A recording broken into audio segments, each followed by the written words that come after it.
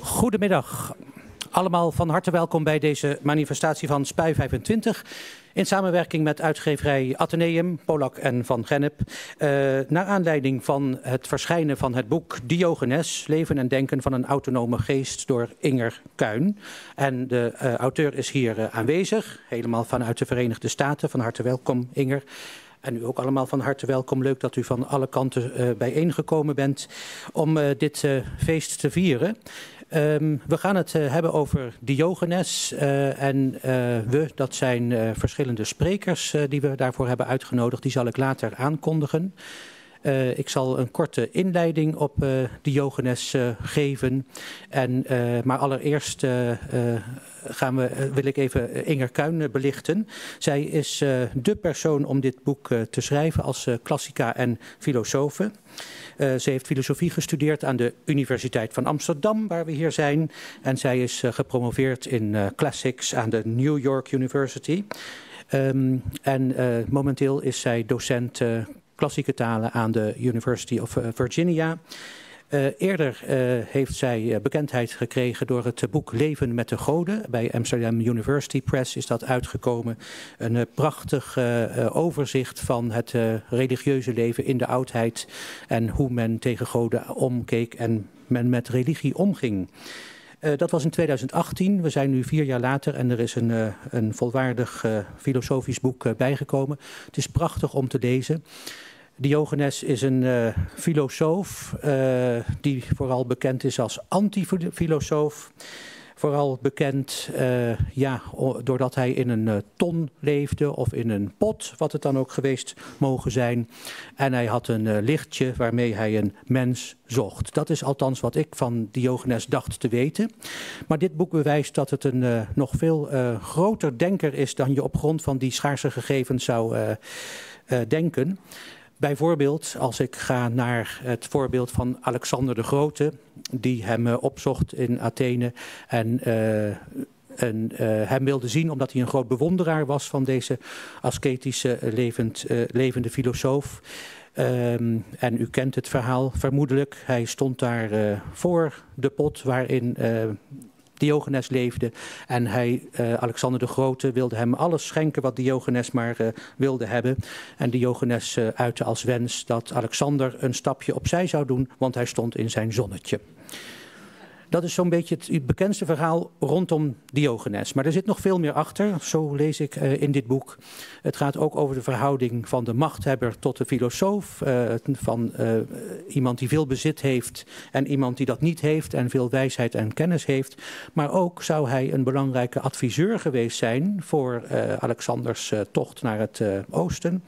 Uh, zijn verovering van het Perzische Rijk, uh, het, het cosmopolitisme dat in die tijd op geld deed.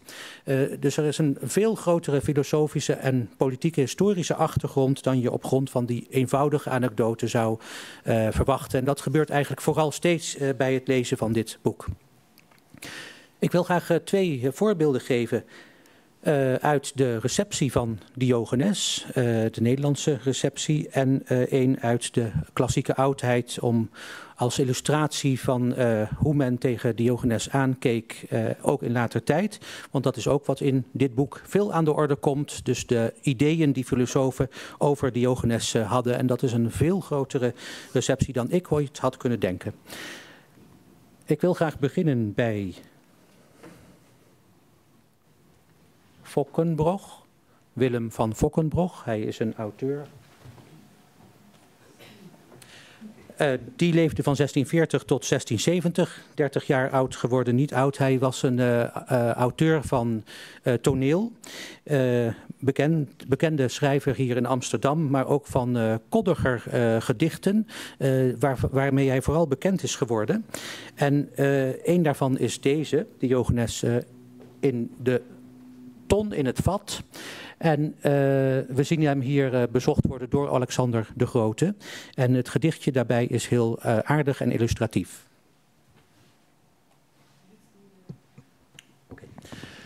Diogenes den Wijze, die woonde in een vat. Hieruit kan men bewijzen dat wijsheid woont bij het nat.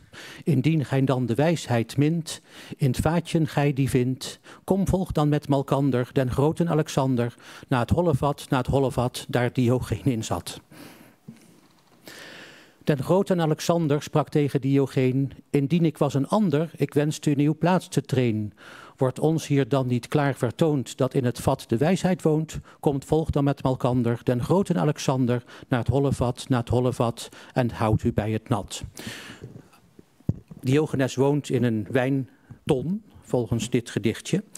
Uh, en Fokkerbroch die kende zijn klassieken, want uh, dit element dat uh, Alexander Diogenes had willen zijn als hij niet Alexander was, dat komt ook uit de biografie van Diogenes Laertius. Uh, een vrolijk versje uh, waar ook veel wijsheid in zet, zit. En uiteindelijk de grap is natuurlijk van uh, Diogenes woont in het vat omdat het daar zo gezellig nat is. Dan een voorbeeld uit de oudheid. een van de um, anekdotes die ook in het boek omhoog wordt gehaald. Namelijk rondom een leerling van Diogenes, de filosoof Crates. Hij was getrouwd met Hipparchia, een andere filosofe. En uh, dit laat zien uh, welk voorbeeld Diogenes met zijn leven gaf. Namelijk een ascetische levenswijze en je ook niet uh, schamen voor het mens zijn, voor je lichaam. en je als individu niet schamen voor, voor, hoe je leeft ten opzichte van anderen en in het openbaar. Deze anekdote die gaat over ja, hij is met Hipparchia getrouwd. Dat was de uh, zus van zijn uh, uh, leerling Metrocles. Hè? Ja, Inger knikt ja, dus ik ben heel blij. en um, was verliefd op Crates. Zij zijn getrouwd en uh, zij gingen dus ook seks bedrijven uh, in het openbaar. En uh, zoals de filosoof Crates leerde, je moet je daar niet voor schamen, dat moet je gewoon doen. Dat is een menselijke behoefte, je hoeft je daar niet voor te verstoppen. En Hipparchia die wil dan hen laten bedekken door een mantel. Dus die zegt, is goed, ik wil wel seks, maar wel met een mantel eroverheen. En Crates zegt het volgende. Dit komt uit uh, de uh, Augustinus die Cornelius Nepos citeert. Van groot belang was wat Crates uit Thebe deed. Hij was een vermogend en aanzienlijk man die zich zo aange aangetrokken voelde tot de leer van de cynici, dat hij het familievermogen liet varen en met zijn vrouw Hipparchia, een even hartstochtelijk aanhanger van die filosofie, naar Athene verhuisde. Toen hij in alle op openbaarheid de liefde met haar wilde bedrijven en, zoals Cornelius Nepels vertelt, een mantel uitspreidde om hun geslachtsdelen te verbergen, zei haar bedgenoot Crates plagerig: Ja, je moet nog veel leren over zingenot, zei hij, want je wilt het best wel op een natuurlijke wijze doen, maar je durft het nog niet te proberen waar anderen bij zijn. Dus die mantel is ook eigenlijk overbodig. Weer zo'n anekdote. En zo staat dit boek vol met geestige anekdotes. Deze staat er dan toevallig niet in dit fragment. Uh, er wordt wel naar verwezen. Um, en uh, ongelooflijk geestig. En uh, ik wil hier eigenlijk graag over verder praten met de auteur van het boek zelf, Inger Kuin. Inger,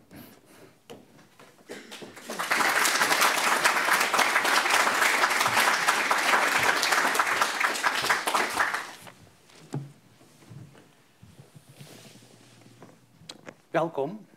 Uh, ja, dankjewel. Uh, dankjewel voor deze uh, inleiding. En heel erg bedankt dat jullie er allemaal zijn. Het is heel een hartverwarmend publiek om te zien. Dus dank jullie wel. Wij vinden het ook heel erg leuk dat jij er bent. helemaal vanuit de Verenigde Staten. Um, daar heb je het boek ook geschreven, want je hebt daar de afgelopen jaren gewerkt en gewoond. Uh, hoe ben je zo op dit uh, thema gekomen? Je zegt er iets over in het nawoord, uh, dat je op het thema bent gekomen, maar niet hoe. Um, ja, nou, ik, um, het, is, het komt vooral door de um, heropleving eigenlijk en de populariteit van de cynische filosofie in de eerste en tweede eeuw na Christus. want mijn, zeg maar, heel nou ja, wat nauwer opgevatte uh, wetenschappelijke onderzoek in de oudheidkunde gaat over uh, de eerste en tweede eeuw na Christus en met name uh, Griekse filosofen in die tijd. en die zijn allemaal geobsedeerd met Diogenes. en toen, ja, toen overkwam mij dat eigenlijk ook. en ik, ik begon er eerlijk gezegd ehm, aan wat meer als een historiografisch project. Dat ik dacht, ja, die Diogenes is toch een belangrijk figuur. Helemaal geen Nederlandstalig boek over. Dat moet echt ingevuld worden vanuit een soort hang naar compleetheid. Ehm, en toen ik dat hele keurige historiografische boek aan het schrijven was, toen um, raakte ik erg gegrepen door, uh, door zijn denken. En toen dacht ik, misschien moet het wel een filosofisch boek worden. Je raakte geobsedeerd, dat is mooi. En uh, je ging het ook in het Nederlands schrijven, omdat er behoefte was in Nederland, of er in ieder geval geen boek over Diogenes. Uh, ja, je, je, sprak en daar Engels en doseerde ook in het Engels. hoe was dat om dat in het Nederlands te schrijven? Dat is toch wel een andere manier van uitdrukken. Ja, nou, ik, um, um, ik, ik, vind het, ik vind het zelf. Ja, je hebt een soort tweedeling waarbij ik al mijn um, wetenschappelijke publicaties zijn in het Engels. Dus dat is zeg maar de, de, de taal waarin ik in dat opzicht thuis ben. Maar ook al bij Leven met de Goden vind ik het ja, heel erg leuk en ook wel heel belangrijk om, om dingen in het Nederlands te schrijven, om ze in het Nederlands toegankelijk te maken. En ik, uh, ik, hou, ik hou heel erg van de Nederlandse taal, dus ik heb er veel plezier in. Maar uh, ik moet ook wel zeggen dat, uh, dat de redacteur bij Atheneum ook wel menig anglicisme uit heeft gehaald. Dus het, het gaat niet altijd goed. Ja. ja. Mooi om het zo op afstand te schrijven. ik zei net in mijn inleiding dat, dat ik mij erover verbaasde dat er zo ontzettend veel over Diogenes te vertellen is. naast die paar anekdotes die ik als, ja, ook als vakmens klassicus kende. Um, maar daarbij vroeg ik me ook af in hoeverre dat nou allemaal historisch is. Want het is natuurlijk een heel aansprekende figuur, die Diogenes. Uh, zijn het niet allemaal verhalen die later aan hem zijn gaan koeken... en die uh, vier eeuwen later opgeschreven zijn door Diogenes Laertius? Uh, en is het niet inderdaad die figuur, die rare figuur in Athene... aan wie een heleboel is toegeschreven? Ja, nou, het, het is, um, het, het, is inderdaad een, een heel lastig um, probleem, een heel lastig vraagstuk dat um, nou ja, Diogenes Laertius in de vierde eeuw voor Christus, uh, dat Diogenes van Sinope in de vierde eeuw voor Christus actief is en dat onze belangrijkste, meest uitgebreide bron uh, van bij Diogenes Laertius, derde eeuw na Christus, zoveel later is. Um, ik, en en dit, is, dit is ook iets nou ja, waar ik erg mee heb gestoeid tijdens het schrijven van het boek. En um, ik beleefde zelf wel een soort van heel um, geruststellende doorbraak uh, toen ik op een uh, papieren tekst stuitte. Um, die, zo, die zo oud is, dus de, de fysieke papieren tekst is, is gedateerd zodanig vroeg dat sommige mensen denken dat die geschreven is door Metrocles. Uh, en dat is dus de broer van Hipparchia, leerling van Crates. Dus dan zitten we nog geen twee generaties na Diogenes. Dus dan zitten we er heel vroeg op.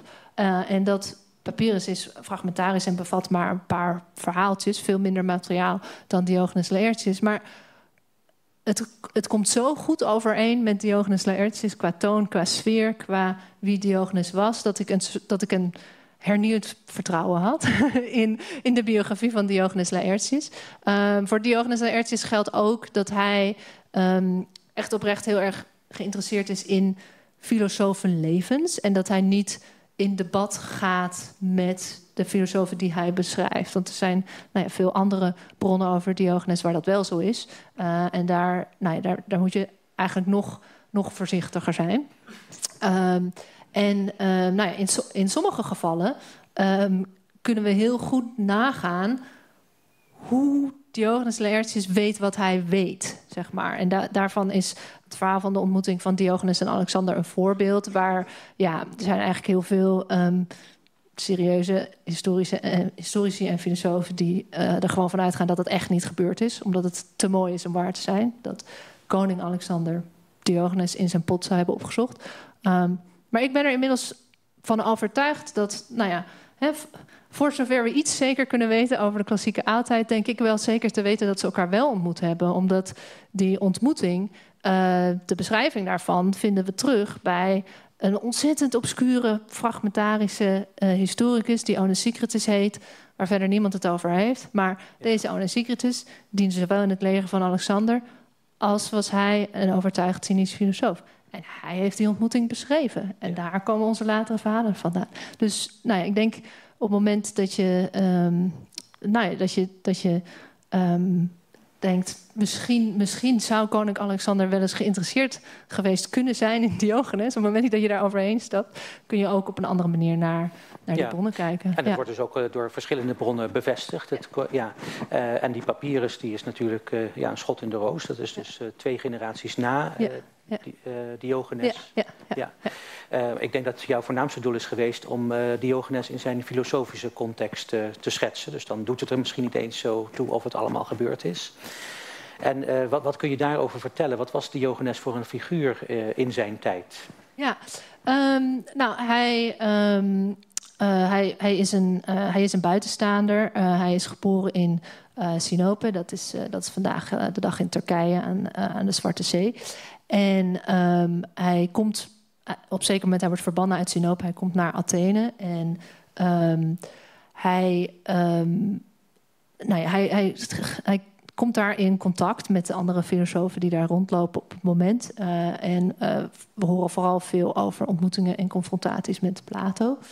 En hij, nou ja, hij, hij, hij valt op doordat hij ehm, zeg maar de, de, de, de soberheid, het ascetische leven, hij daar ontzettend ver in gaat. Uh, dus over Socrates wordt ook wel gezegd dat hij uh, op blote voeten door Athene liep. Um, maar Diogenes doet er een flinke schep bovenop door niet eens in een huis te wonen, door ja. heel erg sober te eten en uh, door schaars gekleed te gaan, et cetera. En uh, enerzijds heeft dat een, een doel van provocatie. Om aan mensen te laten zien. Nou, um, alles waarvan jij denkt dat het zo hoort. Waarom eigenlijk? Ja. Misschien, misschien hoeft dat helemaal niet. Uh, en het tweede, serieuzere doel. Um, of nou, nee. Beide doelen zijn even serieus eigenlijk. Um, het, het, tweede doel is om zijn, uh, om, om, zijn, om zijn lichaam te trainen. Om met heel weinig toe te kunnen. En daardoor op alle omstandigheden en toevalligheden voorbereid te kunnen zijn. Lichamelijke oefening was uh, heel belangrijk voor hem. Uh, ik denk dat dat uh, verzet tegen andere filosofen niet eens zozeer tegen Socrates was, was als wel tegen Plato, hè, de systeembouwer. En daar moest Diogenes niet zoveel van hebben. Ja, zeker. Ja. Nee, en, en um, de, um, hij, um, hij komt hij komt naar Athene als, uh, als Socrates al is overleden. En als eigenlijk iedereen in Athene daarvan uh, aan, het, nou ja, aan het herstellen is, als het ware.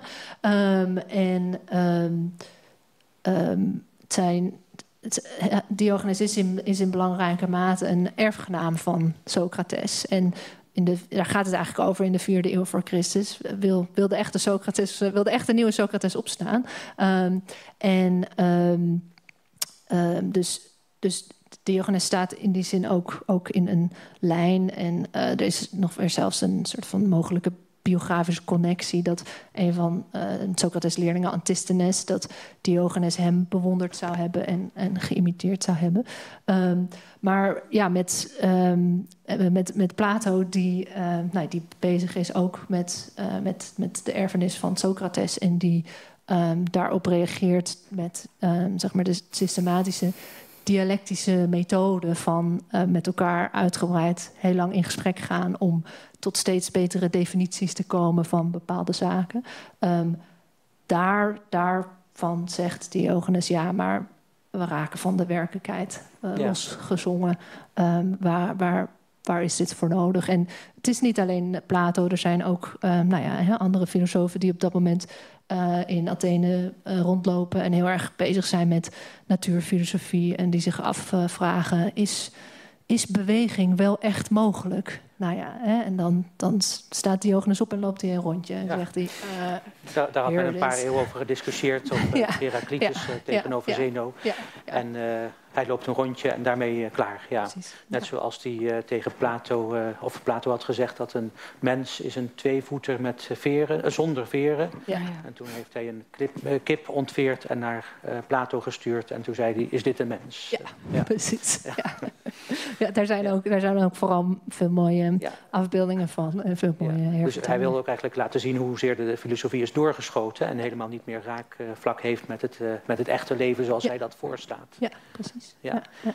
En wat mij ook uh, verraste in, uh, in het boek is dat er dus ook een hele lijn van uh, leermeesters en leerlingen is. dus Antisthenes noem je dat ja. net, en ja. Anagarsis, ja. die een voorbeeld is geweest.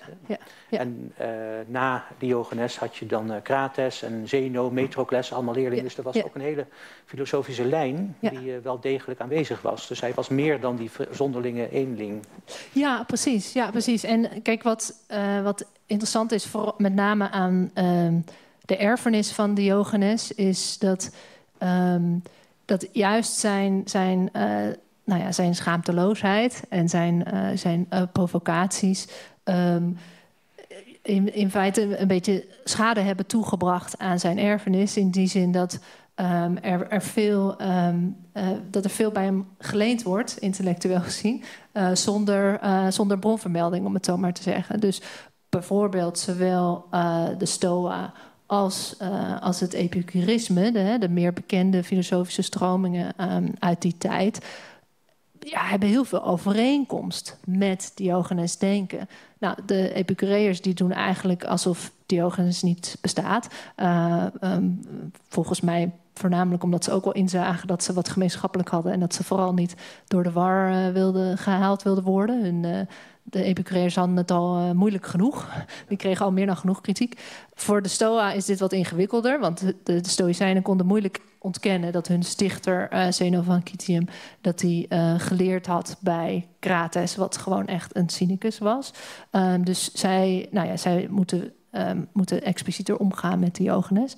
Um, maar ja, zij distancieren zich ook heel nadrukkelijk van, van veel aspecten van Diogenes. Ja. Dus, dus, die, ja, dus die lijn is ook daardoor uh, ondergesneeuwd geraakt. Ja. ja. Je noemt nu heel uh, voorzichtig het woord cynicus. Dat hadden we nog niet laten vallen. En in je boek ben je daar ook voorzichtig mee. Omdat dat uh, een lijn suggereert die misschien te veel te veel suggereert. Hè. Dus, maar dat, dat is de leer uh, die we aan Diogenes toekennen. Ja, ja, nee, en kijk, ik, um, de, zeg maar de. Um, als, er, als er voorzichtigheid is rondom het, het woord cynisch en, en cynicus en de manier waarop ik dat gebruik in het boek, is dat vooral om uh, de moderne spraakverwarring te voorkomen. En uh, nou ja, aan het einde van het boek heb ik het daar wel expliciet over. Wat we nu met het woord cynisch bedoelen en hoe dat zo gekomen is en hoe dat zich verhoudt tot Diogenes.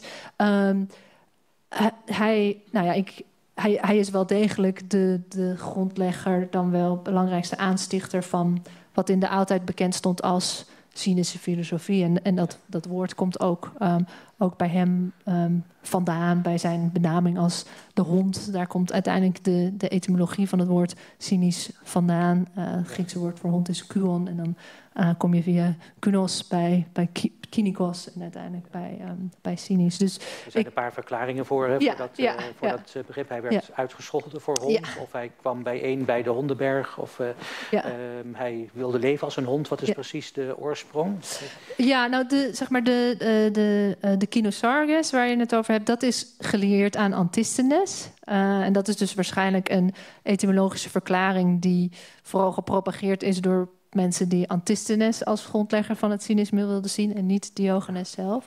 Um, de, um, de, zeg maar de, het, het moment in Diogenes Laertius' biografie is simpelweg dat Plato op enig moment Diogenes een hond noemt. En ja. dat um, Diogenes dan dit aanneemt als geuzennaam. En dan komen er allerlei verschillende verklaringen over in welke zin Diogenes dan een hond is. Uh, en nou ja, een daarvan uh, die hij zegt is dat hij uh, bijtend is. Hè? En in het Grieks is, is het woord bijten ook een metafoor voor kritisch zijn, zoals dat in het Nederlands ook zo is. En hij poept um, in het openbaar.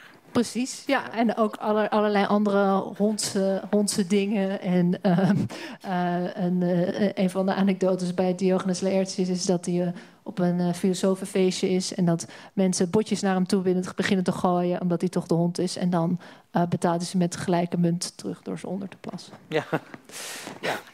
pas maar één. Ja. Um, uh, het, het, deed mij ook uh, enigszins denken aan de sceptici. In die zin dat dat ook een soort antifilosofen zijn. Hè? Een soort doorgevoerde filosofie na Plato. Mm -hmm. mensen die eigenlijk nergens in geloven. Is dat ook vergelijkbaar met de leer van de cynici of van Diogenes? Ja, ja. ja nou inderdaad denk ik dat, ehm, dat, dat het, nou, wat scepticisme genoemd wordt, dat het zeker ehm, ja, het een en ander gemeenschappelijk heeft met Diogenes, misschien wel zelfs schatplichtig is aan hem, in, in de zin van uh, radicale kritiek en uh, ontzettend bezig zijn met wat we wel en niet kunnen weten. En, en vooral niet speculeren over wat we niet kunnen weten. Um, dus daar zit denk ik een belangrijke overlap. Um, het, het, het verschil is wel, zeg maar, de, de richting die dan wordt gekozen. Hè. in, in het scepticisme gaan ze dan heel erg aan de slag met argumentatieleer en heel erg gedetailleerd uitzoeken wat je nou wel en niet precies kunt weten en waar je wel en niet precies over kunt speculeren. Terwijl Diogenes zich, ja, zich vervolgens gewoon terugtrekt in het hier en nu, het tastbare en uh, hoe we moeten leven. Ja, ja. ja, ja. Uh, dus dat is meer de academische filosofie tegenover, um, ja, wat is het, ethische filosofie zou je het Precies, ja, ja, ja, ja. ja. Ja, uh, je had het net ook nog even over het moderne cynisme. Dat uh, natuurlijk nou, in dat opzicht niet vergelijkbaar is met het antieke cynisme. Uh, je vergelijkt dat cynisme ook um, met de opvatting van Peter Sloterdijk. Dus die zich eigenlijk ook een verschil wil maken tussen het moderne uh, cynismus en kynismus. Ja? Uh, hoe, uh, ja, hoe, hoe, vertaalt zich dat naar de huidige tijd? hoe kun je die filosofie in, de, in die 20e eeuwse filosofische tradities plaatsen?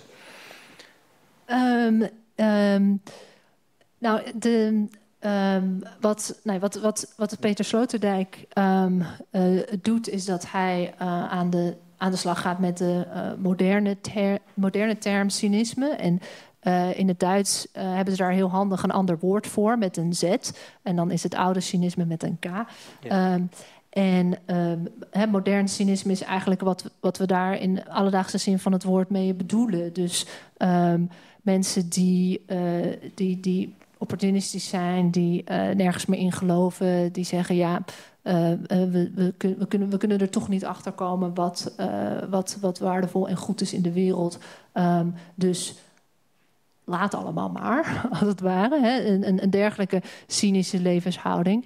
Um, en nou ja, Peter Sloterdijk heeft daar uh, kritiek op. En die zegt, als we nou maar echt terug zouden gaan naar Diogenes, kynismus, wat heel anders is, um, dan, uh, dan kunnen we ontkomen zeg maar, uit de greep van, ja. van dat cynismus. Ik denk dat, um, dat er wel een interessant verschil is tussen het uh, het cynismus waar Sloterdijk in de jaren 80 en 90 het over had. En um, waar we het nu over hebben als het, als het gaat over cynisme. Ik, ik hou natuurlijk ook in de gaten uh, wanneer de cynisme in krantenkoppen wordt ges geschreven. En wat er allemaal uh, als, als cynisch bestempeld wordt vandaag de dag. Um, Peter Sloterdijk had het vooral over cynische mensen die um, ja, een, een geloof en vertrouwen, zowel in de gevestigde orde als in de kritiek daarop, zijn kwijtgeraakt. En in reactie daarop, ja, zeg maar wel uh, met, een, met een vals verlicht bewustzijn noemt hij dat. Um, opportunistisch meedraaien in de, in de machine van het moderne leven. Uh, onder het mom van als ik het niet doe, doet iemand anders het wel. En ik denk wat interessant is, is dat op het moment wordt cynisch vooral um, gebruikt voor uh, rechtse populisten die uh, uh, op maandag het ene beweren en op woensdag het andere beweren. En nou, dat dat allemaal voor hun niet zoveel uit lijkt te maken. En groot verschil met, met Sloterdijks cynici en dan zeg maar on, onze cynici vandaag, is dat Sloterdijks cynici zich, ja, zich terugtrekken en zich maar uh, onthouden van kritiek. Ja. Um, terwijl zeg maar deze moderne, moderne cynici met een Z. Um, nog steeds wel heel veel kritiek hebben. En, er, en, er niet, en het niet zoveel uitmaakt dat, ze, dat, ze geen, eh, nou, dat er geen coherentie of, of idealen zijn. Dat ze zich niet laten weerhouden om, uh, om wel veel kritiek te hebben. Ja. Um, en ja, zeg maar de. Ik, ja, ik denk, dat zijn, dat zijn twee verschillende vragen. Zeg maar. ik, ik, er is, een, is een uitgebreid antwoord wat ik zou kunnen geven op wat, wat Diogenes ons in het algemeen vandaag te bieden heeft. En een beperkter antwoord. Of ik denk dat Diogenes iets in kan brengen tegen onze cynici met een Z vandaag. Maar dat, ja, dat zijn twee verschillende antwoorden. Ja, daar komen we misschien ja. straks nog ja, op. Prima. er zijn hier nog twee mensen die het boek hebben voorgele voorgelezen. In de zin van gelezen voordat het uitkwam. en dat is in de eerste plaats Hiske Versprillen. Hiske is culinair uh, journalist, mag ik wel zeggen. We kennen haar vooral als uh, recensent, ik uh, althans. En daarmee heeft zij ook een zeer diepgaande invloed op de levens van velen van ons. Althans wel op die van mij. ik weet dan precies waar ik naartoe moet gaan en waar niet. En, ehm, maar ik noem die ook culinair journalist, omdat je ook heel wat misstanden in de Nederlandse keukens boven tafel haalt. En Hiske Versprillen is ook filosoof van de Universiteit van Amsterdam. zij schreef haar stukken aanvankelijk voor het Parool. En nu voor de Volkskrant. En Hiske gaat ons nu haar indruk van het boek laten horen.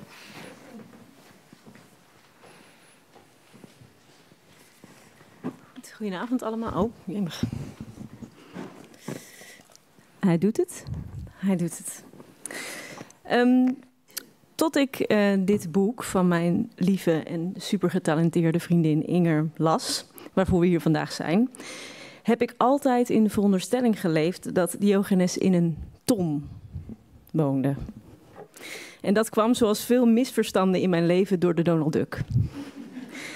Een uitgave waar ik blijkbaar helderder en dwingender herinneringen aan heb dan aan zes jaar onderwijs klassieke talen en zes jaar studie filosofie.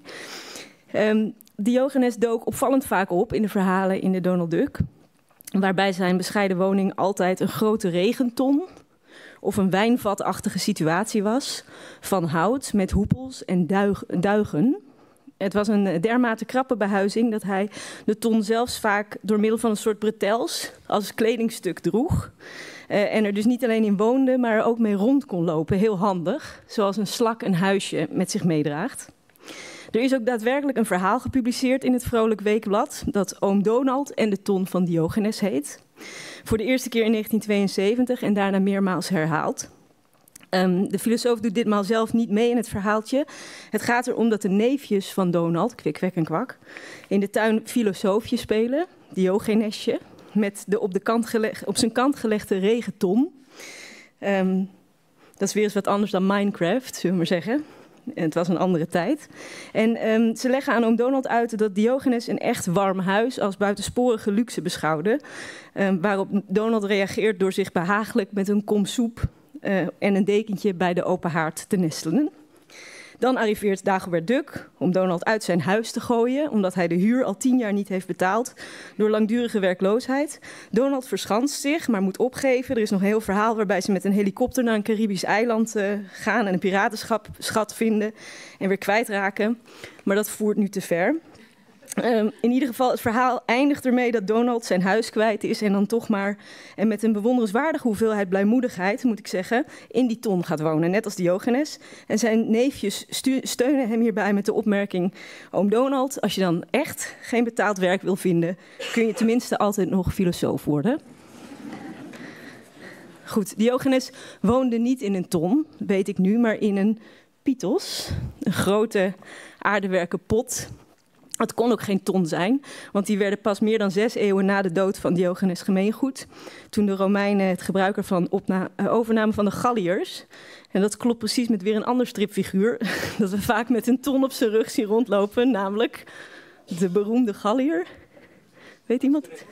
Ja, Obelix, ja, die wordt heel vaak met een ton Um, en je kunt je natuurlijk ook afvragen of het überhaupt uitmaakt of Diogenes in een pot woonde of in een ton. Maar als culinair expert kan ik jullie zeggen dat het voor zowel de conservering als voor de smaak van iets ontzettend belangrijk kan zijn waar iets in wordt bewaard. Kijk, tonnen en potten geven verschillende producten. Denk maar aan haringen of olijven. Diogenes belangrijkste bron van voedingsstoffen, voor zover ik kon zien in het boek. En ook aan wijn, die heel anders smaakt als hij eh, in een houten vat is gerijpt dan in een aardewerken kruik of een betonnen bak of een roestvrij stalen tank, om maar wat plekken te noemen waar Diogenes nu in zou kunnen wonen. Um, de omgeving geeft zijn smaak en aroma af, maar het verandert vooral hoe de fermentatie verloopt. Dus hoe iets veel later door de tijd heen gaat smaken. Welke sporen en micro-organismen wat gaan opzet, uh, omzetten en waarin. Er zijn prachtige voorbeelden van bijvoorbeeld koji-fermentatie in Japan. Dat is uh, een schimmel die verantwoordelijk is voor allerlei fermenten zoals sojasaus en miso en gochujang en zaken. Waarbij dezelfde producten met dezelfde schimmel in veel verschillende potten en vaten compleet verschillende smaken ontwikkelen. Heel wonderlijk is dat. En dat vond ik eigenlijk ook het interessantste aan Ingers boek over Diogenes. Um, en misschien, en ik zeg dit wederom als een leek die de meeste informatie over de oudheid uit stripboeken haalt. Wel um, van heel veel oude teksten en overgedragen kennis. Want wat zijn de sporen en hoe fermenteren ze en waar groeien ze verder? En welke eindproducten, die allemaal net weer anders smaken en ook weer zelf als voedingsbodem dienen, komen eruit voort? Waar is sprake van kruisbesmetting en waar is sprake van toeval? Nou, Inger vertelt uitgebreid in haar boek over waar in onze culturele achtergrond, in ons collectieve bewustzijn en in de geschiedenis van ons denken zaadjes of sporen van Diogenes tot bloei zijn gekomen. Zijn uh, ontmoeting met Alexander de Grote, Ga uit mijn zon, waardoor mensen misschien anders gingen kijken naar wat macht is, naar wat soevereiniteit is en wat daarvoor nodig is. En weer andere onderdelen gingen weer anders bloeien in de verlichtingsdenkers uh, en op moderne denkers als Foucault en Sloterdijk. En ook hoe we nog noten van Diogenes kunnen terugproeven in moderne performancekunstenaars, zoals Marina Abramovic, en um, zijn leven van askese en zelfdiscipline beïnvloedde de Stoïcijnen, die nu trouwens op hun beurt weer mensen als Arie Boomsma beïnvloeden. die heel regelmatig op Instagram zet hoe hij een ijsbad neemt om zijn lichaam te harden in, jawel, een ton met ijs. Of neem Mark Manson's zelfhulpboek The Subtle Art of Not Giving a Fuck, waarvan de titel een regelrechte verwijzing naar Diogenes uh, lijkt. En waarvan er wereldwijd trouwens 10 miljoen verkocht zijn. Wie zei er dat je niet rijk kon worden met filosofie? Um, ik moest zelf bij het lezen van het boek ook steeds erg aan weer andere vormen van tegencultuur denken. De schaamteloosheid en de bijtende agressiviteit van Diogenes, zijn anti-autoritaire gedrag, zijn afwijzing van wapens, van geld, van wetten en grenzen en uh, het burgerlijk leven met vrouw en kinderen, zoals de anarcho-punkbeweging en hun directe acties, krakers, dumpster divers en outcasts, die zich weliswaar aan de rand van de maatschappij bevinden en er in zekere zin ook uh, op parasiteren. Maar met hun levensstijl tegelijkertijd rebelleren tegen de status quo en de sociale normen.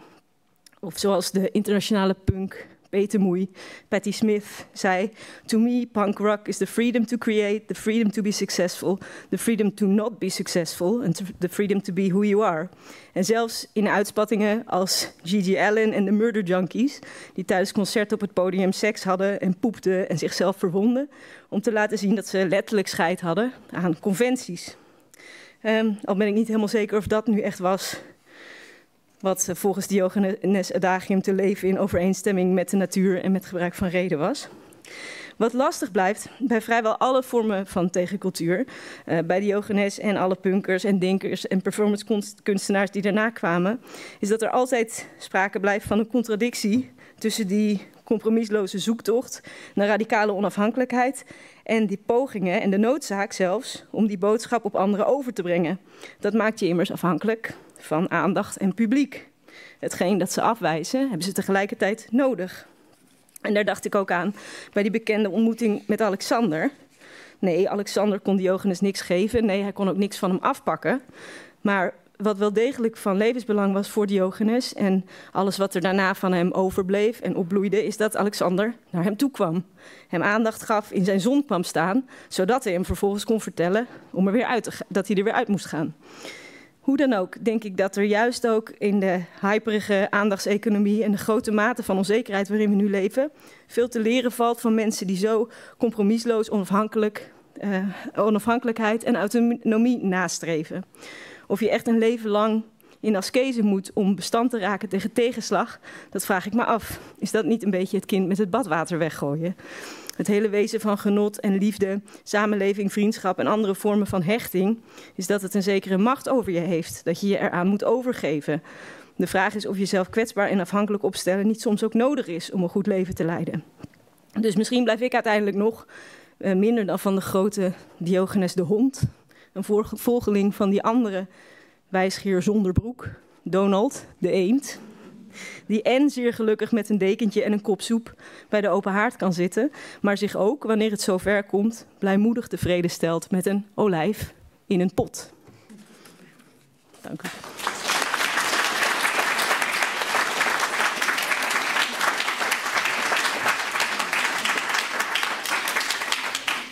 Dankjewel, eh, Hiske. Heel mooi. Uh, het was mij inderdaad ook opgevallen dat er heel erg veel olijven in het boek voorkomen. Heel veel olijven. Ja, en ook brood, sla en linzen. En linzensoep. Ja. ja. Linzensoep, dat, uh, dat zat in een pot die uh, Zeno, de leerling van Krates, mee moest dragen door de stad als een soort ontgroening om bij hem in de leer te komen. En daar schaamde hij zich erg voor. En toen zag Krates dat, hij heeft toen de pot kapot geslagen, waarna de soep over hem heen ging. En toen is hij hard weggehold, want hij wilde niet meer in de leer bij Krates. Er komt dus ook heel veel eten in voor. We gaan door naar de volgende spreker. Dat is Jacqueline Klooster. Zij heeft um, klassieke talen gestudeerd aan de Universiteit van Amsterdam. Uh, zij is daarna aan deze universiteit achter deze muur gepromoveerd op een onderwerp uit de Hellenistische poëzie. Uh, en zij is nu docent Grieks, universitair docent Grieks aan de Rijksuniversiteit in Groningen. En ook zij heeft het boek gelezen. Ja, dankjewel. Um, ik zal ook even kijken of de microfoon werkt. Ja, nou, ik vond het uh, heel leuk dat uh, net ook al begon over... ja, in hoeverre kunnen we nou eigenlijk een voorbeeld nemen aan Diogenes? Want dat was eigenlijk ook de vraag die telkens bij mij opkwam... bij het lezen van Ingers uh, heel mooie, rijke en ook verrassende nieuwe boek. Hij is natuurlijk echt bewonderenswaardig... omdat hij zo compromisloos is in zijn afwijzen van conventies... van hypocrisie, van autoriteit... En hij stelt daar tegenover een soort autonomie eerlijkheid en wijsheid. Hij is voor niets of niemand bang. En hij heeft natuurlijk een groot gevoel voor humor, als je ervan houdt, zou ik maar zeggen. Maar toch, als je leest over al die afwijzingen, die afwijzing van de polis, van de samenleving, van alle kunstvormen, hè, denk aan het Griekse drama, wat hij een poppenkast noemt, maar ook van, ja, inderdaad, wat we zojuist ook al hoorden, meer intieme vormen van samenleving, zoals het gezin of het huwelijk toen dacht ik ook bij mezelf, ja, het is in bepaalde opzichten misschien ook maar goed ook dat niet iedereen in de oudheid een volgeling van Diogenes was. Want dan hadden we nu helemaal geen literatuur uit de oudheid. En dan wisten we ook waarschijnlijk niet echt. Ja, wisten we alles over Diogenes of niks over Diogenes. En dat is natuurlijk inderdaad steeds die paradox die, als het gaat om Diogenes. en die ook in het boek benoemd wordt. en die net ook al ter sprake kwam. Hij is een inspirerend voorbeeld, Diogenes. Maar het is ook eigenlijk niet helemaal de bedoeling dat iedereen Diogenes wordt. Je mag wel een voorbeeld aan hem nemen, maar ja, uh, hem helemaal navolgen is denk ik heel moeilijk. Want wat hebben we dan? Nou, in het bijzonder, en dat zal de mensen die mij kennen niet zo verbazen, begon ik me tijdens het lezen van het boek natuurlijk ook af te vragen welke boodschap Diogenes in zijn eigen tijd, maar ook nu misschien, heeft voor vrouwen konden en kunnen die hem navolgen en in hoeverre dan wel of niet. En ik vond het dus ook heel leuk om te lezen over Hipparchia, de vrouwelijke filosoof die net ook al ter sprake kwam, die dus trouwde met Crates van Thebe, eh, de beroemdste volgeling van Diogenes. En een paar dingen in het bijzonder haalde ik dan uit het boek. Ten eerste dus het, dat het radicaal afwijzen van alle gangbare sociale conventies en hiërarchieën in de maatschappij voor vrouwen in het klassieke Griekenland natuurlijk een heel groot aantal voordelen met zich meebracht. Vrouwen hoefden dan opeens niet sociaal minder te zijn dan mannen, aangezien zoiets als macht of sociale hiërarchie sowieso eigenlijk nergens op slaat, volgens Diogenes. En bovendien hoefden ze zich ook niet druk te maken over hun reputatie als ze inderdaad liever, zoals hier beschreven wordt, het staat volgens mij nog steeds op de, ja, op de slide. Als ze dus liever uh, inderdaad seks in het openbaar hadden dan thuis achter het weefgetouw te zitten, dan konden ze daar gewoon aan toegeven. En nou ja, Hipparchia deed het wel, maar kennelijk toch wel met enige misgivings. Hè, dat uh, blijkt dan wel. Want eigenlijk kon niemand ze beschamen of klein houden. Dus dat was natuurlijk een enorme vrijheid. Maar en het grappige is dat deze slide daar ook al een klein beetje een soort antwoord op geeft. Ik vroeg me toch af in hoeverre een vrouw helemaal alleen, dat wil zeggen niet getrouwd met een cynische filosoof, hè, zoals Hipparchia wel was, ook daadwerkelijk in staat zou kunnen zijn geweest in de oudheid. En dan niet alleen theoretisch en mentaal, maar ook vooral praktisch en fysiek. Om dat autonome, vrije, compromisloze bestaan van een filosoof als Diogenes echt te lijden. Want wat zou een vrouw moeten doen als ze aangevallen wordt, als ze ongewenst zwanger wordt? Uh, nou ja, of als ze fysiek van haar vrijheid wordt beroofd door geweld van uh, mannen die fysiek meestal sterker zijn. En ook hier vind je dus weer, Diogenes is wel iemand met een heel belangrijke boodschap, een voorbeeld. Maar zelf Diogenes worden was misschien ook niet voor alle vrouwen weggelegd. En dat brengt me op het uh, laatste punt dat ik wilde maken. Um, een van de interessante, ja, vele interessante hoofdstukken, maar één dat mij heel erg ook aansprak, uh, en daarin uh, volg ik ook uh, Hiske na, is het laatste boek over Diogenes en de moderne tijd. En de vraag die daar opgeworpen wordt van wie is nou eigenlijk de nieuwe Diogenes. En we hoorden daar net ook al wat uh, ideeën over. En inderdaad, hè, alles wat een soort tegencultuur is, ja, zou je kunnen zeggen, dat is een soort vorm van uh, antiek cynisme. En tegelijkertijd denk ik ook dat er zeker wat voor te zeggen is om Diogenes te beschrijven, begrijpen als iemand die eigenlijk allerlei emancipatiebewegingen uh, inspireert. Vanwege zijn radicale afwijzing van sociale hiërarchieën.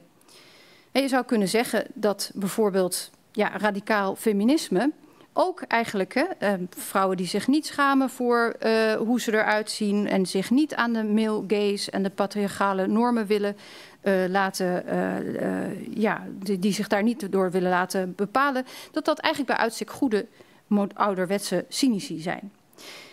En ik dacht in het bijzonder eigenlijk aan één iemand, dat is niet zozeer een een feministe misschien, maar die met haar radicale en compromisloze omverwerpen van allerlei gevestigde verwachtingspatronen, en dan denk ik in dit geval aan de schoolstaking, en haar hele bewuste omarming van een soort ascetische of non-materialistische levensstijl, en natuurlijk ook het onvermoeibaar uitdagen uh, op een heel compromisloze manier van allerlei machthebbers, dat die misschien wel ook een goede kans maakt om een soort Diogenes van uh, onze tijd te zijn. En dat is dus Greta Thunberg.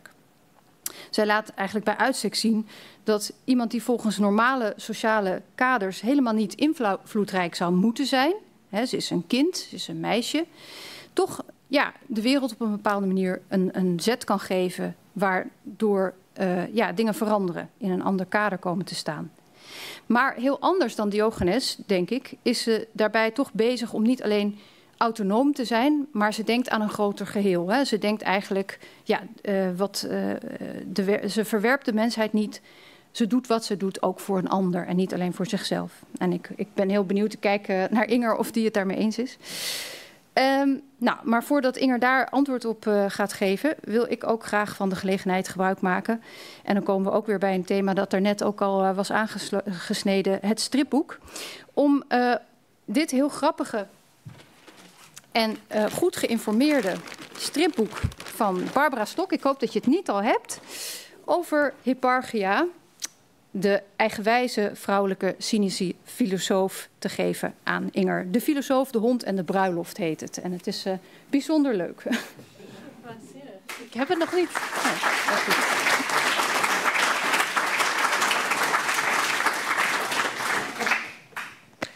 De eerste vraag is al uh, gesteld, Inger. Is uh, Greta Thunberg uh, de nieuwe Diogenes of Hipparchia, wie je ook wilt? Um, um,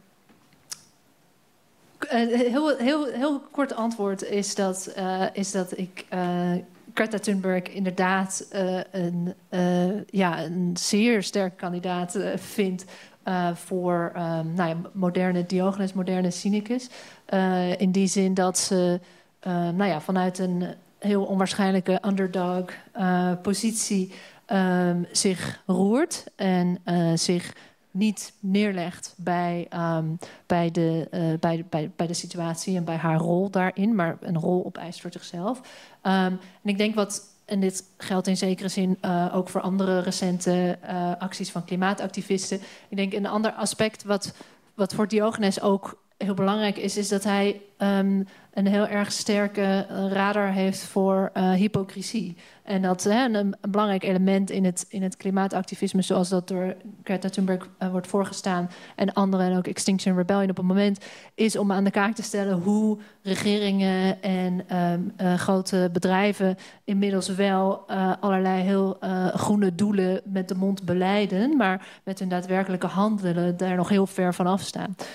en nou ja, dergelijke. Hè, dat er zoveel licht zit tussen wat je zegt en wat je doet, uh, is iets waar Diogenes ook bijzonder allergisch voor was. Um, dus ik denk, nou ja, het, feit waarop zij daar tegen in geweer komen, dat het heel erg Diogenes-achtig van aard is. Maar tegelijkertijd, um, wat je zegt over Greta Thunberg en de manier waarop zij samen met anderen uh, een beweging bouwt, um, dat is dat is heel anders. Dat, dat, is, dat is iets wat Diogenes niet doet. dat is iets wat Diogenes niet doet. Nee, van, van hem, uh, van hem moeten we het allemaal zelf doen. Hij, hij, hij, wil inspireren, maar we moeten het allemaal zelf doen. En hij is niet een, nou ja, een, een, een bouwer van netwerken in die zin. Behalve dan postuum, hè, in de zin dat na zijn overlijden uh, zijn volgelingen hun best doen om elkaar verhalen te blijven vertellen over, uh, over hem. Dus er ontstaat postuum een soort beweging, maar die heeft hij niet zelf gebouwd. Dus daar heeft Greta Thunberg zeker nog weer een stap, uh, nog weer een stap verder. Ja, in jouw boek neem je ook afstand met de, uh, van de vergelijking van populisten en Diogenes, omdat populisten vaak meer uit zijn op eigen belang of macht. Die willen de gevestigde macht omverwerpen om die zelf in te nemen. En dat is helemaal niet in de lijn van Diogenes. Zitten wij klimaatactivisten dan meer uh, op die lijn uh, als performance kunstenaars die tomatensoep tegen Van Gogh gooien? Ja, precies. ik, denk het, ik denk het zeker wel. Ja, ik denk het zeker wel. Um, en um, nou ja, het, dus um, dat het, dat, het, dat het een kritiek is uh, zonder, uh, uh, zonder zeg maar de, de behoefte om op de stoel van de macht te gaan zitten. Um, um, en um, nou ja, er zijn, nou, er, zijn, er, zijn nog, er zijn nog een heel aantal andere verschillen, maar ik denk dat ook met name Diogenes zijn, zijn, zijn voorschrift dat, dat we dus moeten leven uh, volgens wat we vinden. Ja. Uh, dat is iets wat ook ja, toch wel vaak ver te zoeken is bij uh, rechtspopulisme. Ja. En de manier waarop ze zelf in het leven staan. Ja. En activisten die proberen toch ook een bepaalde waarheid aan de orde te stellen. En dat deed Diogenes ook. Ja, ja. ja, precies. Ja. Um, jij had het ook nog in jouw betoog over performance kunstenaars zoals Marina Abramovic. die had een heel mooi stuk in jouw boek over Marina die in de um, um, Museum of Modern Art in New York uh, plaatsneemt en daar dagenlang gaat zitten en alleen maar de bezoekers in de ogen gaat kijken. Dus je kunt dan in een stoel gaan zitten en naar haar kijken. En sommige mensen deden dat een paar minuten, en anderen deden dat een paar uur. en dat is een vorm van performance kunst die jij ook met Diogenes in verband brengt. Misschien wil jij daar nog op... Ik heb alleen geen microfoon. Oh, ja. Hier is er eentje. Um, ja, nou ja, goed. Je, je hebt het in het laatste hoofdstuk heel duidelijk daarover dat je dat inderdaad ook ziet als. De, je verbindt het heel erg met die lichamelijkheid, hè, als ik het goed begrepen heb. Dus het feit dat het niet alleen maar uh, dat ze niet op papier of alleen maar in haar denken dat probeert neer te zetten, maar ook echt met haar lijf daar gaat zitten. En ook in andere performances die zij heeft gedaan, heel erg ook uh, uh, heel heftige dingen doet, zichzelf soms verwond om ook te laten zien van hoe hoe krachtig dat lijf is en hoe, hoe, wat een dingen je daarmee kunt laten zien. Um, uh, ja, ik weet niet of je daar zelf nog iets meer over wil vertellen. Of, wij zijn er toen samen geweest in het moment toen zij er zat. Ja, en toen zijn we niet in de rij gaan staan. Jullie hebben niet in haar ogen gekeken? Nee, helaas. Nee, nee dat, dat, zeg maar dat uh, daar, um, daar uh, de, zeg maar de.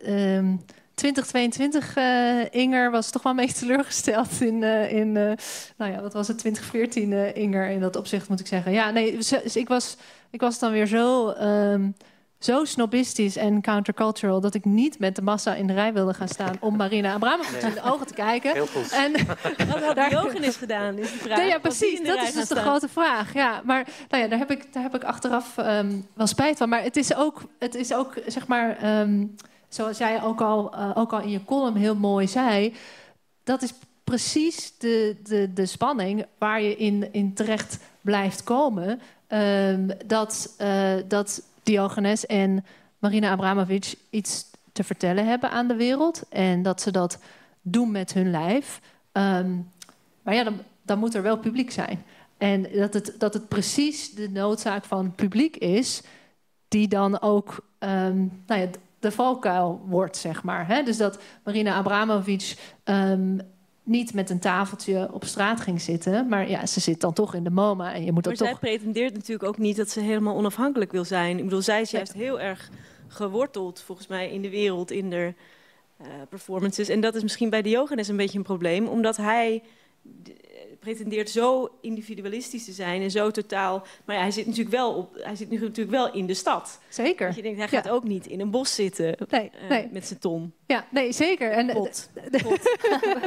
er, is ook, er staat ook een. Um, uh, een, van de, een van de illustraties in het kleurenkatern in het, uh, in het boek staat een heel mooi uh, schilderij. Waar uh, de pot van Diogenes heel nadrukkelijk aan de rand van de stad staat. Dus dan zie je rechts al zeg maar, donker bos. En dan zie je links op de achtergrond nog de gebouwen. Dus dat die op die, op die grens zit. En, um, en, en dat is. Uh, en nee, dat is. Dat is, hè, dat is de, de inconsistentie waar je Diogenes op kunt betrappen in die zin. Dat uh, nou ja, terug wil naar de, naar de natuur.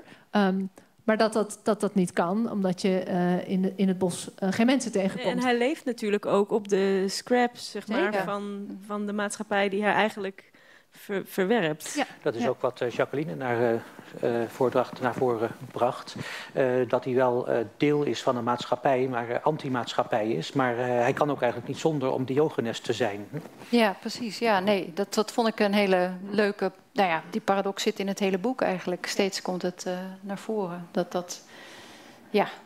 Uh, maar dat, uh, ja, ik vroeg me heel erg af of hij dat zelf ergens ook erkent of zo. Of je daar ergens ook zelf, of heb je daar iets over gevonden? Ja, nee, dus, er zijn. Um, er zijn, er zijn twee, twee, twee verhaaltjes, twee anekdotes die, um, die er wat mij betreft wel goed uh, op van toepassing zijn. Zeg maar. In, uh, in, één, in één anekdote heeft hij het nadrukkelijk over um, nou de, de, zeg maar de, de noodzaak van aandacht en wat dat uh, betekent. Hè, in het verhaaltje is het zo dat hij uh, op, op de marktplaats um, iets aan het vertellen is, maar dat is eigenlijk relatief serieus. En de mensen lopen hem voorbij en er stopt niemand om naar hem te luisteren. Gaat hij zingen, uh, ja. Dan gaat hij, dan gaat hij een raar deuntje neurien. Um, en dan, uh, dan stoppen de mensen opeens wel. Uh, en nou ja, dan zijn ze gestopt en dan gaan ze naar hem luisteren. En dan krijgen ze gelijk een veeg uit de pan. Want dan zegt hij, ja hallo, ik moest een raar, een, een raar deuntje neurien voor jullie om te stoppen. Maar toen het, toen het belangrijk en serieus was, stopten jullie niet.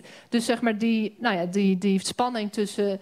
Uh, tussen de verpakking uh, van wat je zegt en de, de, behoefte dat je daar de aandacht mee trekt. En uh, helemaal onafhankelijk zijn in de inhoud van wat je zegt, is denk ik iets waar hij zich van, van bewust was. En nou ja, de, de grote vraag. Um, wat zou er gebeuren als iedereen Diogenes werd? En moet dat wel? En is dat wel wenselijk? Um, daar is zeg maar van, uh, van, van Diogenes zelf, in Diogenes Laertius, zegt hij op enig moment dat hij zichzelf ziet als een, uh, als een, als een koordirigent, als een leider van een koor. Uh, en dat hij altijd de toon ietsjes hoger in zal zetten. Ja. en dat de rest van het koor die toon niet precies zal halen.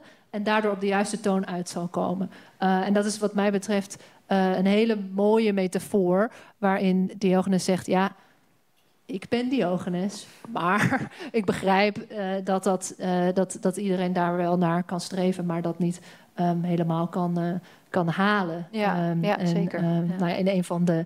Een, een van de apocryfe cynische brieven uit naam van Diogenes. En dan gaat het over kinderen hebben. En dan zegt iemand: Ja, maar als niemand geen kinderen meer heeft, dan sterft toch iedereen uit. Uh, en dan zegt Diogenes zegt hij twee dingen. Nou, zo, zo, zo vaart zal het wel niet lopen, want niet iedereen zal Diogenes worden. En ten tweede zegt hij, ja, gut, als de mensheid uitsterft, is eigenlijk net als dat, is eigenlijk net als dat de wespen uitsterven. Ja, hij kon zichzelf relativeren, Diogenes. En hij verwierp de polis, maar had het ook nodig als spiegel voor zijn eigen uh, handelen. Ja, wat mij ook heel erg verraste, uh, ook in aansluiting op wat Jacqueline vertelde, is dat in het boek blijkt dat uh, sommigen een politeia aan hem toeschrijven. Hè? Dus hij zou wel degelijk een boek geschreven hebben over de staat. Wat ook heel erg ingaat tegen het idee dat we van Diogenes hebben. Ja. Uh, ja, um, dat, uh, nou ja, zeg maar, een, een, uh, een, een was het werk waar je als serieuze filosoof in een, een blauwdruk schreef over hoe, hoe, de, hoe de maatschappij ingericht zou moeten worden, hoe de polis ingericht zou worden. We, kennen vooral Plato's staat onder die titel. En um, er, er wordt gewacht gemaakt van een politeia die Diogenes geschreven zou hebben. Uh, door een, uh, eerste, uh, een, een, filosoof um, uit de eerste eeuw, voor Christus Philodemus genaamd, um, die, die, die heel veel kritiek heeft op, op, die, op die politeia van Diogenes en hem daarom eigenlijk aanhaalt. En uh, nou ja, hij, zegt er uh, een aantal verschrikkelijke dingen over. Zoals dat, uh, dat in de Politeia van Diogenes incest goed gepraat wordt. En dat in plaats van munten we met botten moeten gaan betalen. En, nou een, aantal van dat soort, een aantal van dat soort dingen. Um, ik, ik denk op zich dat die ideeën die Philodemus daar weergeeft, hoe, hoe polemisch en gek ze ook zijn, um, wel degelijk iets, hè, wel degelijk een soort steek houden met, met Diogenes denken. De, er zijn verschillende verbanden aan te brengen. Uh, dus ik denk best dat die inderdaad uh, ontleend zijn aan de, aan de, aan de authentieke Diogenes-traditie. Um, ik denk, ik, ik, ik, kan me er, ik kan me er zelf niet bij voorstellen dat Diogenes is gaan zitten met een stuk papier en een politeia heeft geschreven. Heeft hij niet. Nee, precies. Nee. precies. Nee, hij heeft dat, alleen een lampje. Ja, ja, ja, ja. precies. Dus ik, dus ik denk zeg maar, dat, die, dat die fragmenten die er dan zijn van Diogenes politeia, dat we die echt beter kunnen zien als uh, ideeën uit de Diogenes-traditie dan als een daadwerkelijke uh, Diogenes politeia uh, Toegeschreven aan Diogenes. Ja, ja, ja, ja, ja precies. Ja. Uh, u kijkt uh, naar ons uh, als waren wij een tv-programma, maar het leuke van dit programma is dat u ook vragen kunt stellen aan degene die achter het beeld zitten. Um, wie mag ik het woord geven om, om iets aan de sprekers te vragen? En daar is Frederik Bakker van de Radboud Universiteit te Nijmegen, afdeling Filosofie. Ja, dankjewel. Dat was heel interessant. Um, aan het begin werd er een term gebruikt, uh, cosmopolitisme. En die heb ik eigenlijk niet horen terugkomen. En ik was wel benieuwd of je daar iets over zou kunnen zeggen. Ja, uh, dankjewel. Uh, dankjewel voor deze prachtige vraag. Een, een, rol van, van Diogenes die, um, die vaak aan hem wordt toegeschreven is grondlegger van het cosmopolitisme. En de, de allereerste keer dat iemand zegt, ik ben een cosmopoliet... Uh, dat is Diogenes. Uh, en dat doet hij in, in de biografie bij Diogenes Laertius.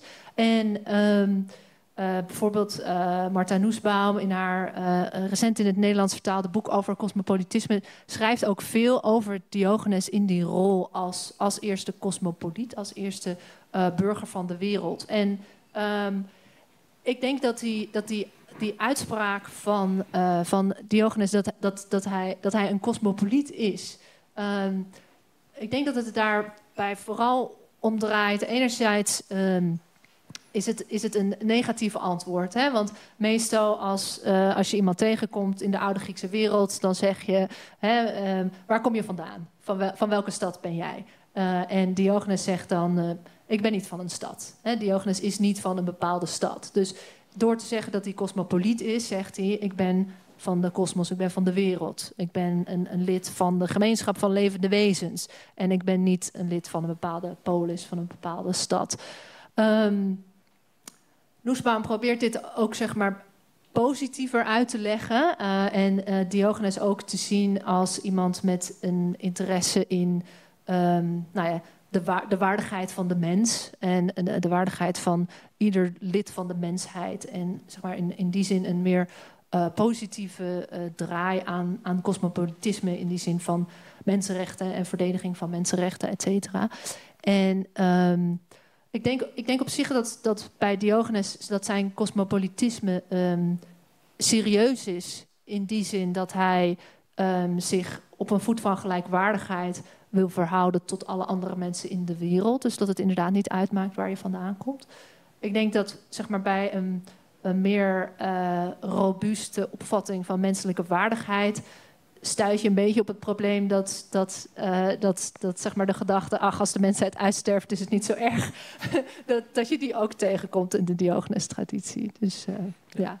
En het was natuurlijk ook in de wereld van geïntensiveerde contacten die de Hellenistische wereld was. Alexander de Grote die naar het oosten ging. Was hij in dat opzicht ook een cultuurrelativist? Zeer, zeer zeker, ja, zeer zeker. Nee, Diogenes is, de, um, is, is een heel is, is een ontzettend uh, uitgesproken cultuurrelativist. In die zin dat hij. Um, uh, dat hij denkt dat de, uh, dat de, um, de, gebruiken, de gebruiken en de normen zoals wij die um, met elkaar hanteren, dat als we morgen alles anders doen, we misschien wel helemaal niet slechter af zijn. En dat het feit dat mensen aan de andere kant van de wereld alles anders doen, dat, we, dat, we, dat we misschien wel wat van ze kunnen leren. Ja. ja. Zijn er nog uh, meer? Uh, ja, Floris. Uh, ja, ik spreek heel luid, maar. Ja. ja. goed. ja, Voor de livestream is het. Ah, er zit een livestream in. Ja. Oké, okay, nou, ik vraag me af hoe je eigenlijk um, Diogenes zijn cynisme wilt vergelijken met um, religieuze vormen van askese, waar ook heel nadrukkelijk zo'n performance element in zit, wat vaak met een soort van minachting voor de wereld gepaard gaat, maar ook zich nadrukkelijk toch weer zichtbaar moet afspelen. Je gaat niet op een pilaar zitten ergens um, waar niemand je kunt zien. Je, zelfs als je woestijnheilige wordt, je zorgt toch dat er af en toe eens iemand uh, komt zien hoe ontzettend jij voor je van uit de wereld aan het terugtrekken bent. Als je een yogi bent, ga je nadrukkelijk um, uh, um, in je lendendoek uh, publiekelijk zitten rondlopen om te beleiden wat een ontzettende hekel je toch eigenlijk hebt aan dit aardse bestaan.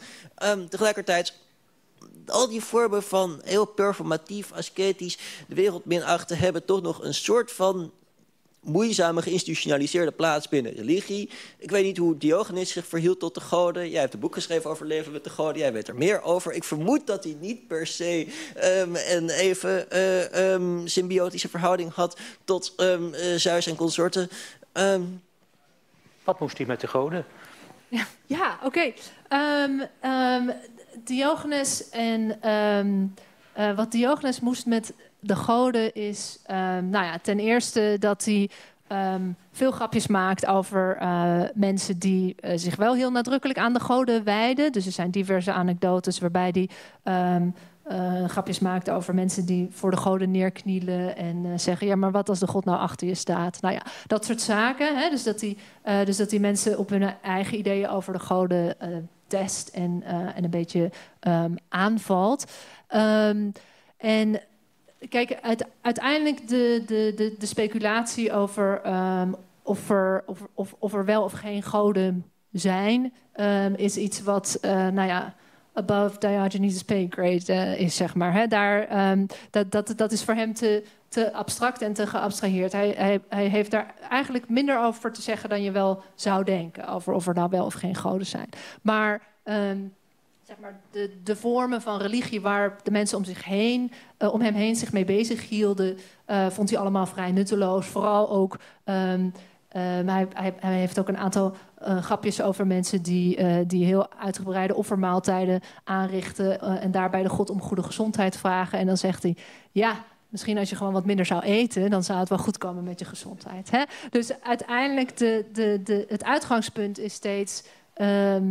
Waar, waarom, zou, waarom zou je de goden ergens om vragen wat je gewoon zelf in de, in de praktijk kunt brengen? En Um, nou ja, om nog even iets te zeggen over je grotere vraag over, uh, over askese uh, binnen, binnen, binnen religies, zowel in het christendom als, um, als ook in, in religies uit antieke India.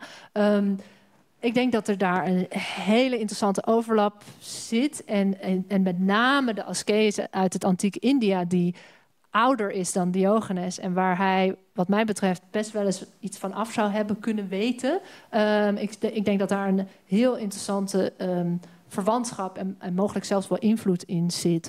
Um, het grote verschil uiteindelijk, met name met, met de christelijke askese, is dat ehm, voor, ja, voor Diogenes is, uh, is, um, is zijn lichaam niet van God. Zijn lichaam is gewoon van hemzelf. Dus als hij af en toe wel een cakeje eet, dan bezoedelt hij zijn, zijn lichaam daar uh, niet mee. En, en, en daarmee komen we natuurlijk ook bij zijn heel erg uh, onchristelijke houding ten aanzien van seksualiteit, die heel anders is. Ja. Diogenes als filosoof of als guru? Of sluiten die twee dingen elkaar niet uit?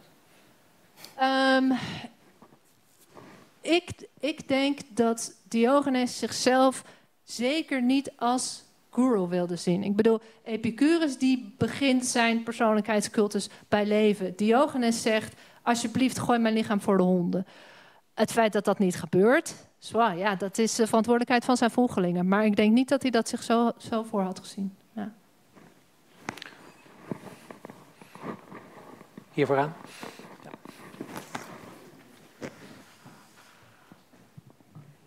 Ja, um, ik had nog een vraag over uh, zijn dood. Want ik had, uh, ja, ergens had ik gelezen of zo dat hij op een gegeven moment, hij werd heel oud, had ik uh, gehoord. Maar dat hij op een gegeven moment gewoon dacht van, weet je, ik ben er klaar mee, ik hou mijn adem in, ik ben dood. ja, dus, hoe ging dat? Want is, is dat echt gebeurd? Of is dat soort van... Ja, leg het even uit. Ik, ik, ik, ik betwijfel het, ja. maar klinkt wel als iets wat hij zou doen. Dus, ja, ja, ja. ja, Dank, dank je wel voor je, voor je vraag. Um, er, er worden. Um, uh, er, zijn, uh, er zijn verschillende doodsoorzaken die over hem verteld worden. En deze over zijn ademinhouden is, is, ja, is eigenlijk wel een van mijn favorieten, moet ik zeggen. Um, en, en, en circuleert ook heel erg breed. Want je adem inhouden en je adem inhouden totdat je eraan doodgaat, is natuurlijk de, de ultieme askese, de ultieme zelfontzegging. Dat je zelfs zonder zuurstof kan. Um, helaas, volgens de medische wetenschap is dit niet mogelijk. Um, ja, dus, dus, dat, dus dat is toch waarschijnlijk um, niet zo gegaan. Een ander verhaal wat ook wordt verteld is dat hij uh, een, een, een, een rauw slecht stukje vis zou hebben gegeten en dat hij daaraan is overleden. Dus nou ja, er zijn verschillende mogelijkheden. De, zeg maar de, traditie vertelt dat op enig moment uh, zijn vrienden hem gewoon vonden in, gewikkeld in zijn cape. Um, en dat zij er toen van uitgingen dat hij inderdaad zijn adem in had gehouden. Um, en um, nou ja, dat, dat vind ik zelf wel bijzonder en sluit ook een beetje aan op de vorige vraag. In die zin dat de verheerlijking van Diogenes daar begint. Hè? Dus dat zijn vrienden de gedachte dat Diogenes gewoon was doodgegaan. Wie weet, aan een hartstilstand in zijn slaap niet konden verkroppen. En daarom met dit mooie verhaal over de ingehouden adem zijn gekomen. Ja. Iske fluistert net in mijn oor dat het stukje vis waar die eh, aan gestorven zou zijn octopus is. ja, ja zeker. Nog meer uh, vragen in het midden? Dat zal een van de laatste vragen zijn.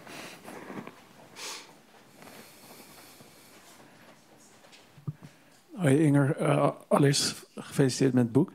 Um, ja, ik vroeg me af in hoeverre zou je bepaalde uh, um, aspecten in de religies en de kerken kunnen herleiden als reactie op Diogenes. Zoals bijvoorbeeld kuisheid, omdat ze bang waren voor een bepaalde bandeloosheid. Of is dat ergens anders op gebaseerd?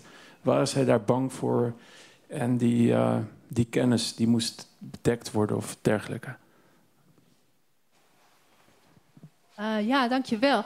Um, als het als het gaat om, uh, om, om kuisheid en Diogenes en, en de vroege kerk, um, vind ik zelf heel opvallend en heel interessant ook de overlap tussen uh, Paulus, apostel Paulus, in zijn brieven en de manier waarop hij over het huwelijk schrijft en hoe Diogenes tegenover het huwelijk staat. Want wat ze heel nadrukkelijk gemeenschappelijk hebben, is dat ze allebei denken dat het huwelijk te veel stress met zich meebrengt. En uh, ja, dat sowieso relaties, dat leidt ontzettend af van, uh, van, uh, van een, een, een, gezonde geest en ruimte voor contemplatie. Dus dat in die zin het, het huwelijk het beste kan vermeden worden. Nou, Diogenes zegt dan, zelfbevrediging is een prachtige oplossing om, om toch met je, met je seksuele driften aan de slag te, te kunnen.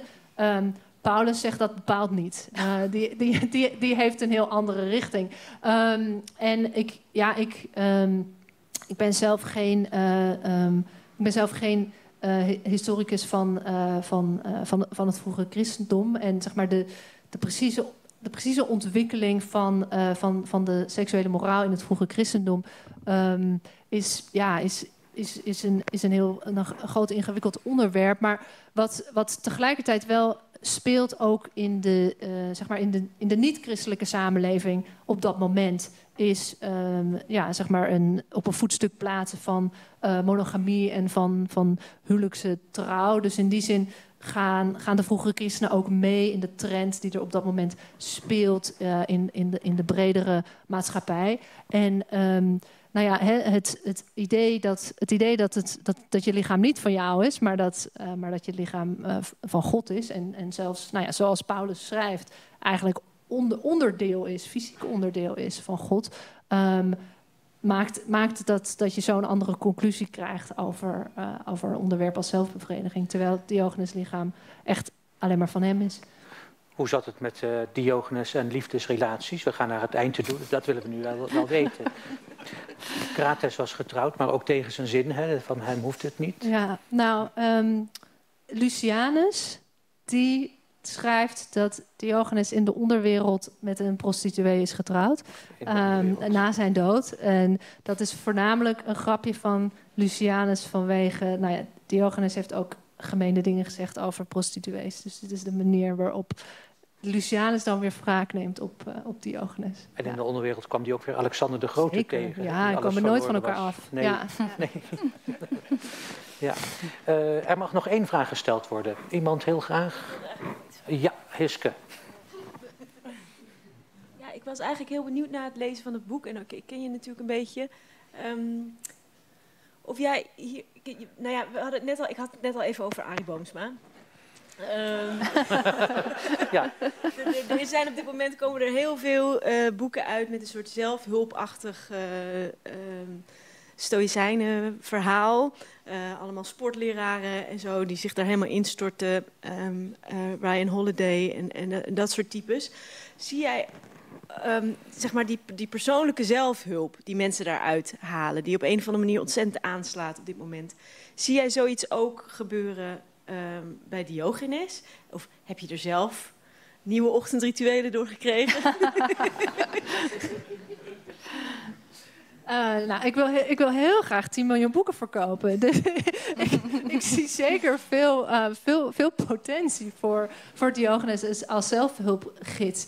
Ik denk wel dat um, het, um, het lastige aan Diogenes... en in die zin heb ik er, heb ik er wel zelf um, wat, wat aan gehad... Hoe, hoewel dat dus helemaal niet makkelijk is... maar is, is zeg maar zijn zijn opdracht om iedere, iedere ochtend zelf wakker te worden en um, op, jou, op jouw eigen manier in te vullen wat, wat het betekent om goed te leven naar de reden en niks voor waar aan te nemen en, en, en heel kritisch te zijn. En ik denk dat wat het stoïcisme zo uh, aantrekkelijk en interessant maakt, is dat het een, um, nou, is dat het een heel praktische uh, handreiking geeft voor um, hoe het leven zoals jou dat is gegeven, iedere dag te leven. Hè? En hoe om te gaan met de omstandigheden zoals ze zijn. Terwijl um, Diogenes wel degelijk vindt dat we ons elke dag af moeten vragen of de omstandigheden niet heel anders kunnen. En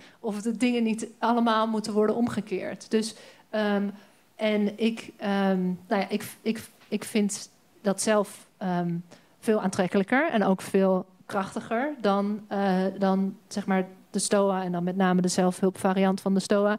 Um, maar ja, of het. Het is ook veel moeilijker. dus, de, dus de vraag of het, of het op een vergelijkbare wijze aan zal slaan, dat, eh, dat, dat weet ik niet zo eerlijk gezegd. Maar Arie Boomsma mag zeker mijn boek kopen en lezen. Heel graag. Heel graag. Ja. Inger, je hebt een uh, prachtig boek geschreven. Uh, het is uh, heel mooi ingedeeld in allemaal thema's: kennis, macht, lichaam, slavernij, dood, revolutie, moderniteit en verder met Diogenes. Je hebt het niet alleen maar laten zien wat we over Diogenes leren, maar ook wat we van hem kunnen leren. En dat heb je ook net heel mooi toegelegd. Um, de uitgeverij moet geprezen worden voor het uitgeven van dit prachtige boek, Atheneum. En u kunt het ook later hier Kopen na afloop. Jij gaat zelf deze bijeenkomst afsluiten en wij geven jou daarvoor graag het woord. Ja. Ehm, ja, nou, ik, ehm, ehm, ik, ik wil nog heel nadrukkelijk wel ook even Rob Zwedijk en Sander van Vlerken bedanken van uitgeverij Atheneum voor de manier waarop zij dit boek begeleid hebben en mij er ontzettend bij hebben geholpen. Um, en um, ik wil ook bij deze officieel um, de eerste exemplaren aanbieden van het boek. En dat zullen er drie zijn. En daarvoor ga ik drie mensen naar voren roepen die gelukkig al een beetje vooraan zitten. en dat zijn drie leerlingen van het Fons Vitae Lyceum. En met eentje van hen heeft u al kennis kunnen maken door zijn uh, geweldige vraag over het, de ademinhouden. Um, en, um, dus ik wil even naar, uh, naar voren roepen. Uh, Jara Engels, Esse Bakker en Aaron Wesseling, de vragensteller. zij doen alle drie filosofie op het Fons Vitae Lyceum hier, hier in Amsterdam. Um, en zitten daar in 5 VWO, dus gaan eindexamen doen in filosofie. En uh, nou, ik vind het heel leuk dat jullie uh, hier naartoe zijn gekomen en uh, dat ik uh, bij deze een boek mag geven aan deze hele jonge generatie filosofen en misschien wel jonge generatie nieuwe Diogenes.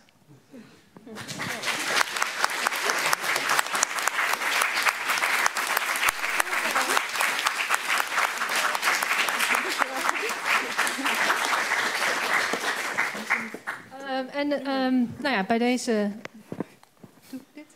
Uh, ja, we willen Hiske hartelijk bedanken, Jacqueline hartelijk bedanken en vooral Inge heel erg hartelijk bedanken. En daarmee is uh, deze uh, middag, die inmiddels al avond is geworden, ten einde. Hartelijk dank voor uw aanwezigheid en tot de volgende keer.